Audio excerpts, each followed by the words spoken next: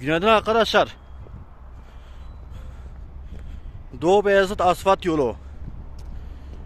Gülbulak İran arasında.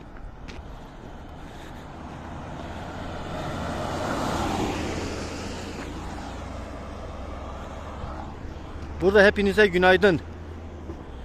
Kendinize iyi bakın. Allah'a emanet olun. Görüşürüz.